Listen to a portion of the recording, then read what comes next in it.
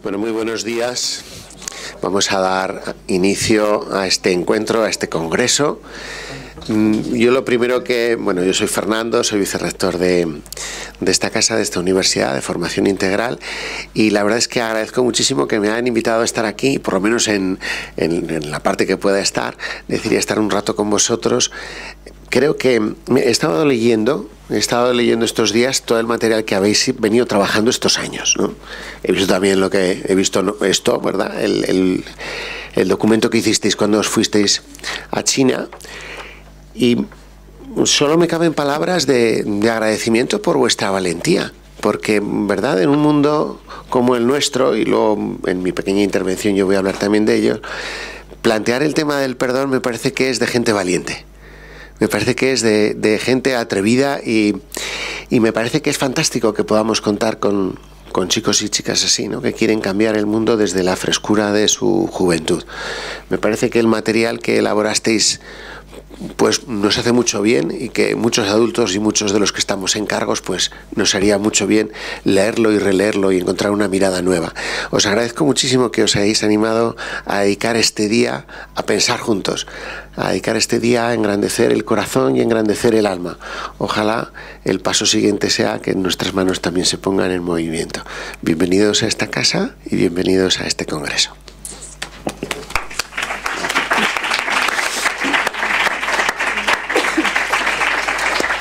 Muchísimas gracias, Fernando, y en especial por acogernos en este congreso. La verdad es que la Universidad Francisco de Vitoria siempre ha sido una gran impulsora del Parlamento Universal de la Juventud y gracias a ello hemos tenido también una bonita participación de estudiantes de esta universidad en el encuentro de China y que seguiremos todavía teniendo más participación también quiero dar las gracias al profesor Ignacio Saavedra, que ha venido con algunos alumnos del CEU también, y a Jesús, que es su compañero de, de la capellanía de, de, esta universidad, por animarse a apoyar también este proyecto y este encuentro en concreto en un día laboral, lo cual también se agradece mucho porque no es tan fácil dejar otras obligaciones. Y agradezco también eh, en la persona de Fernando pues al rector de esta universidad, que ha sido quien también ha abierto todas las puertas para que pudiéramos colaborar desde hace ya unos años y especialmente con este congreso. Como decía, todavía eso es el comienzo ¿no? de algo bello que estamos construyendo juntos.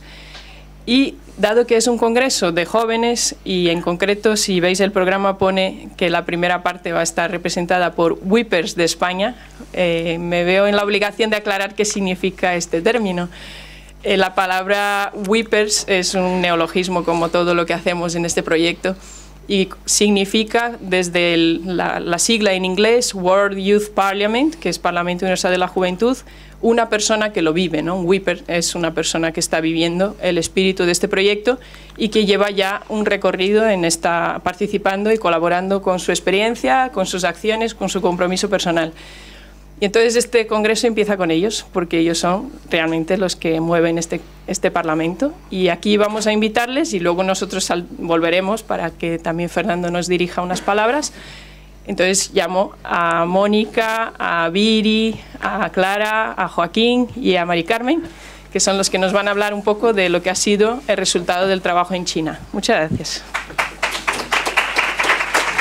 Bueno, eh, gracias eh, por acogernos y bueno, empezamos a explicar eh, lo que hemos trabajado, bueno, lo que trabajamos en Pekín. Eh, bueno, empiezo yo. Eh, los jóvenes de, del PUG, eh, a partir de nuestra experiencia personal, hemos visto que vivimos una sociedad donde las relaciones interpersonales están degradadas y esta degradación se debe a una falta de amor y de generosidad. ya que para nosotros el amor tenía que ser la base de todas las relaciones humanas.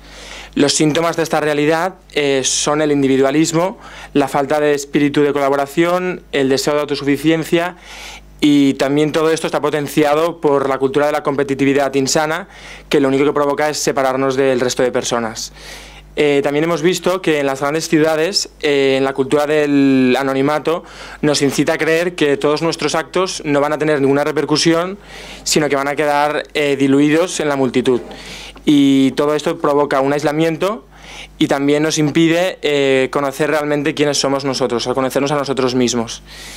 Entonces, eh, bueno, así como para acabar la primera parte y que podáis entender la primera parte del manifiesto, eh, eh, vemos que nuestra tendencia, al fin y al cabo, es buscar, em, es, no, perdón, em, nuestra tendencia es el riesgo a evitar establecer relaciones profundas y el principal motivo de este riesgo es porque tenemos miedo a no ser amados. Y es por eso que buscamos satisfacciones inmediatas y superficiales que no nos eh, obligan a, vivir ante un referente trascendental de perfección. Y ahora doy paso al siguiente, que no al punto 2.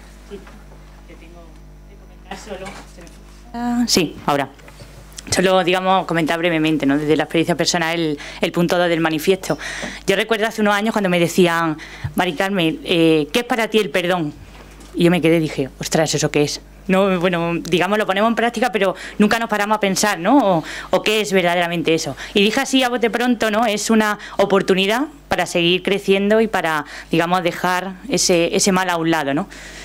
Gracias al PUG, ¿no? Gracias al Parlamento, eh, me ha digamos, me ha ayudado también a ver que el, perdón es algo más, ¿no? Es, y, y, ha sido muy bello ver que el perdón también es un don, ¿no? Un don que, que hemos de pedir cada día, ¿no? No es algo que, que salga de nosotros, sino que, que es dado, ¿no? Y luego también que el amor es un, es un acto de amor, ¿no? Y un acto de misericordia que al final lo que queremos es que la otra persona crezca, ¿no? Y, y todo esto nos permite que bueno, el, digamos, en ese acto de perdonar nos permite que podamos tomarnos el tiempo necesario ¿no? para digamos, cambiar esa perspectiva y verlo desde, otra, desde otro ámbito. ¿no? también a querer que la, persona, que la otra persona crezca y sobre todo a, aprender a separar el mal, digamos, o ese mal cometido, esa ofensa, de la propia persona. ¿no? Eso nos ayudará a que ese acto sea verdadero y, y que bueno, sea verdaderamente amoroso. ¿no? Eh, bueno, yo os voy a comentar brevemente el, tercer punto del manifiesto, que comienza hablando sobre la cultura del, anonimato, como bien ha dicho eh, Joaquín. Entonces, muchas veces cuando estamos, voy a poner un ejemplo personal que a mí me ha pasado muchas veces y, y, si sois estudiantes, pues yo creo que también os ha pasado. Cuando estamos en clase y queremos preguntar algo y decimos, pues, pues ¿para qué lo voy a preguntar si lo puede hacer otro cualquiera? Como que sentimos que nuestros actos verdaderamente igual no tienen tanta relevancia o, pensamos que no van a servir para nada. Entonces, esto también, como, como, ha dicho Joaquín, pues impide que nos aislemos, que no establezcamos lazos con el profesor, en este caso, por ejemplo. Entonces, esto lleva a que, a que no podamos descubrir quiénes somos, porque tenemos verdaderamente mucho, mucho que ofrecer, mucho que dar, y, aquí es donde entra nuestra capacidad, capacidad de amar y de ser amados, ¿no? Y bueno, eh, punto cuatro.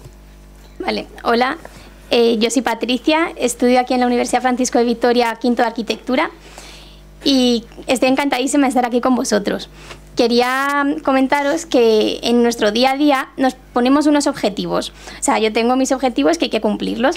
Y entonces, claro, entre ellos pues está estar, o sea, a mí me encantaría estar en un grupo de trabajo, por ejemplo, en el ámbito laboral, en el cual me sienta integrada y me sienta que puedo satisfacerme. A ver, ¿quién de aquí querría? Quiero que levantéis la mano, ¿eh? A ver, ¿quién de aquí querría tener un gran trabajo? O sea, un ámbito laboral fantástico. ¿Quién querría? Venga, levantar la mano. Claro. ¿Y quién querría tener unos amigos que también, en plan, que sean fantásticos? ¿Quién querría eso? Claro. Pero es que no siempre pasa eso. Igual que en clase. Cuando muchas veces estamos en un grupo y no nos sentimos así. Claro, ¿qué pasa aquí entonces? O sea, sentimos, nos empezamos a sentir desanimados, que no tenemos las mismas ganas de antes. ¿Y qué hacemos entonces? Aquí la pregunta es, ¿cómo lo resolvemos? Claro, ¿cómo lo resolvemos ahora? Pues bien, quería poneros un ejemplo personal. Yo cuando era pequeña eh, tenía un grupo de amigos, bueno, un grupo de amigas, éramos cinco amigas, y entonces entre nosotras éramos inseparables, entonces nos lo contábamos todo, eh, jugábamos al pilla-pilla, eh, íbamos a cumpleaños juntas. Y entonces hubo un momento en la adolescencia en el cual me empecé a sentir un poco rara con respecto a ellas. Y claro, yo no quería sentirme así, yo quería encajar como pasaba antes. Y entonces pues hay un momento en el que por intentar encajar empiezas a romper tus valores. Y entonces la dignidad humana que tenemos nosotros empieza a hacerse así. O sea, un ejemplo muy tonto. Todas mis amigas tenían Messenger, o sea, antes del WhatsApp y del 20, o sea, el Messenger. Y yo quería tener Messenger para encajar. Y mis padres no me dejaban. Pues bien, llegué a faltar incluso el respeto a mis padres y a mí misma haciéndome un messenger oculto. O sea, que, que es una, un poco así, pero es un ejemplo en el que vemos, o sea, este es un ejemplo básico, pero pasa en todas partes. Y bueno, ayudaros en plan que penséis si en algún momento lo habéis hecho, porque de estos temas lo vamos a reflexionar y vamos a encontrar la respuesta hoy. Gracias. Eh, también hemos observado y creemos que es fundamental en el manifiesto eh, eh, ser conscientes de que las relaciones eh, hoy en día están profundamente heridas y que vivimos numerosos signos de violencia, no me refiero a violencia física, pero sí malas contestaciones, reproches. Entonces, en nuestras relaciones, eh, la respuesta fácil a, esos, a esas malas contestaciones que nos dan, a esos esas cosas que no nos gustan tanto y que otras personas nos hacen, pues a lo mejor de manera inconsciente, lo que genera es en nosotros eh, resentimiento, eh, una mala contestación de vuelta. Y, todo eso nos daña, nos perjudica y nos evita, evita que crezcamos. Entonces, em, lo que queremos, em, eh, bueno, voy a hacer uso del lema de esta universidad, de Vince in bono malum, que es vence el mal con el bien. Entonces, en esos casos creemos que es necesario pues que todo ese el mal que nos hacen no, no devolverlo, no llevar una conducta, no llevar a cabo una conducta vengativa o, o devolver, pues sí, devolver lo que nos han hecho, sino eh, pues saber perdonar, que es lo que lo que estamos trabajando aquí. Y ya, ya estamos, hemos explicado todo.